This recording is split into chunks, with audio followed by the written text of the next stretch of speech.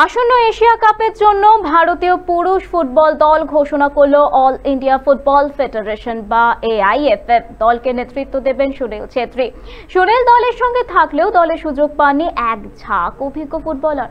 Coach হিসাবে দলের সঙ্গে যাবেন ইগস্টিমাজ জাতীয় দল নাকি ক্লাব কে প্রাধান্য পাবে? এই টালবাহানার মধ্যে এশিয়া কাপের ভারতীয় পুরুষ দল ঘোষণা করা হলো।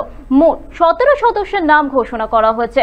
বুধবার সোশ্যাল মিডিয়ায় সুযোগ পাওয়া ফুটবলারদের নাম জানিয়ে দেওয়া হয়েছে। চলতি মাসের উনিশ তারিখ থেকে শুরু হচ্ছে উনিশতম এশিয়ান গেমসের আসর।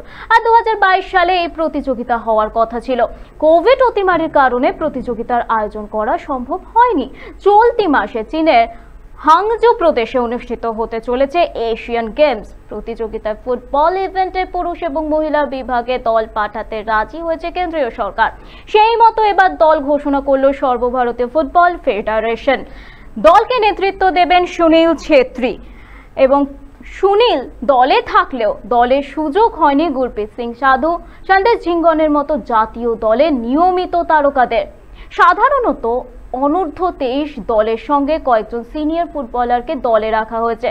জানা গিয়েছিল, সুনীল, গুরপ্রীত এবং সন্দেশকে রেখে দল সাজাচ্ছেন ভারতীয় কোচ ইগস টিমাজ যদিও ইন্ডিয়ান সুপার লিগ চলার বাকি ফুটবলারদের ছাড়তে রাজি হয়নি তার ক্লাব। জাতীয় দলের স্বার্থের কথা মাথায় রেখে ক্লাব কর্তাদের ফুটবলার ছাড়ার জন্য অনুরোধ করেছিলেন জাতীয় দলের কোচ টিমাজ অনুরোধ করেছিলেন এআইএফএফ সভাপতি কল্যাণ চৌবেও।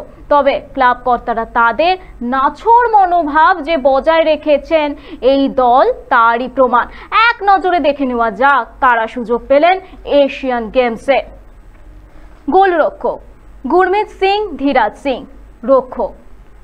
Sumit Rathi, Narender Gehlot, Deepak Tangri মাঝমাঠ Amarjit, Samuel James, Rahul KP, Abdul Rabeeh.